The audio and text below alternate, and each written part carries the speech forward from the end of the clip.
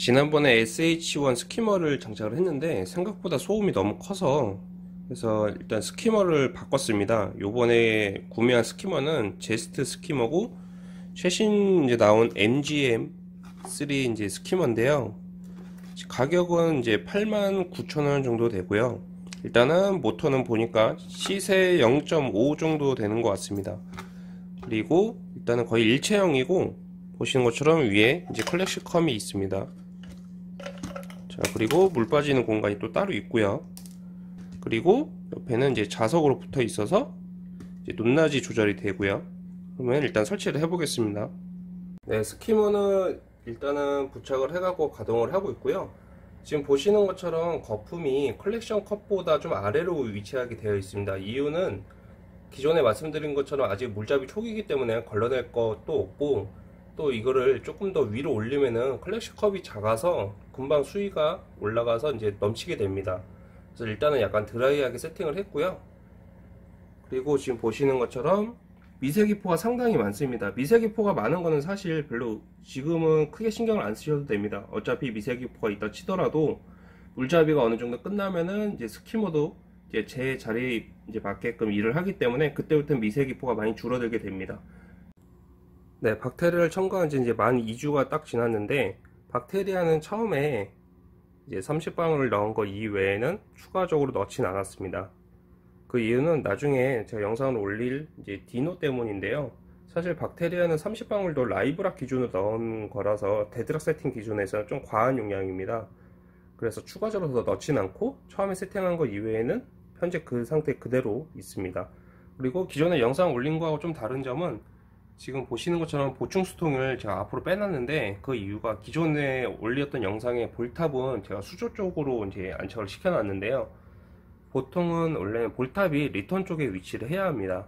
왜냐하면 return에서 올라오는 물량하고 이 어항에서 이제 오버플로우로 빠지는 물량하고 같지가 않기 때문에 시간이 지나면 지날수록 물의 증발량이 커지면서 이제 return 쪽에 물이 많이 줄어들게 되거든요.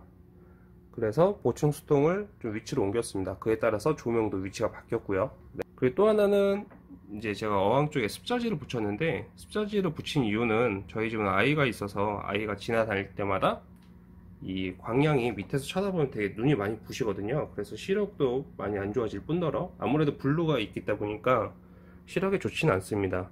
그래서 일단 습자지를 붙여서 밑에서 봤을 때 눈이 부시지 않을 정도로만 붙여놨고요. 그래서 아이가 있는 집은 가급적 등갓이나 아니면 이렇게 습자지로 붙여주는 게 좋습니다.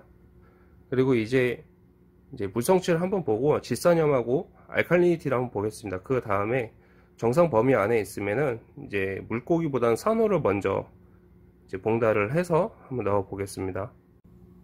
네, 알칼리니티는 먼저 측정을 해봤고요. 지금 150 ppm 정도 나옵니다. 150 ppm이면 대략 DKH로 계산을 했을 때 한 8.4 정도로 나오기 때문에 지금 권장 수치 안에 포함이 되어 있고요.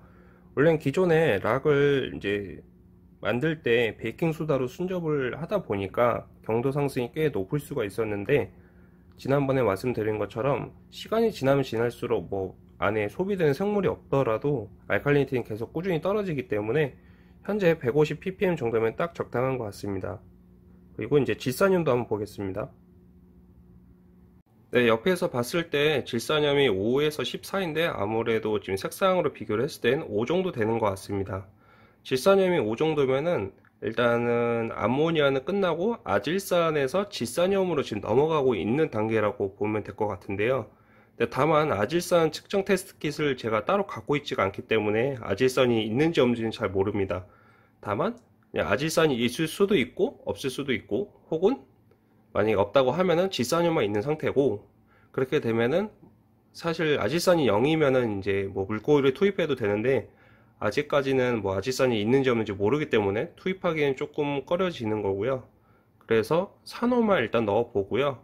다음 주에 일단 질산염 한번 더 측정을 해서 만약에 5ppm보다 낮아지거나 같은 경우라면은 아질산은 더 이상 없고 질산염만 있는 상태이니까 그때부터는 생물을 넣어도 될 것 같습니다. 그러면은 다음 주에 다시 한번 업로드를 하겠습니다.